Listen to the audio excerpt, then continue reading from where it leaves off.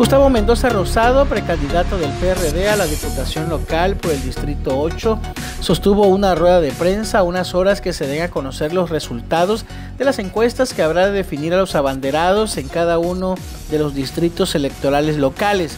Insistió en que ya se den a conocer los resultados de las encuestas y se postule a los mejor posicionados, que se garantice piso parejo para todos los precandidatos y no salga viciado este proceso. En el cual nosotros, en mi caso como precandidato todavía estoy solicitando al partido de manera muy respetuosa, pero muy puntual y muy enérgica, piso parejo porque ha habido muchas especulaciones, han habido muchos comentarios, creo que hubo falta de comunicación en ambas vías eh, y eso provocó mucha incertidumbre o ha provocado mucha incertidumbre.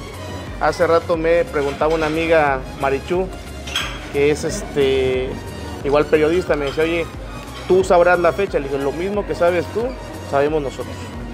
Entonces, en relación a eso, de manera muy respetuosa, pero igual muy enérgica, pido al partido eh, que haya un respeto. Creo que el respeto tiene que ser mutuo, tiene que ser de dos vías y por parte de su servidor ha habido y existirá un respeto hacia la institución, hacia, el dirigente, hacia la estructura, pero sí solicitamos piso parejo. Hubo un acuerdo en el cual se nos mencionó que se iba a hacer un respeto hacia las encuestas, que las encuestas iban a hacer el sentir ciudadano y nosotros pedimos, en mi caso yo, yo pido que ese sentir ciudadano se respete. A mí me gustaría esperar.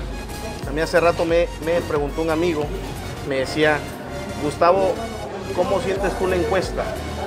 Le digo, yo creo que la mejor encuesta es la que te da el ciudadano, en la que llegas a las diferentes colonias y te reciben, en las que agradezco igual públicamente a muchas voces que se han pronunciado en diferentes redes sociales, diferentes delegados, líderes naturales, de los casi 15 delegados que han estado respaldando este proyecto, que han manifestado un pronunciamiento favorable.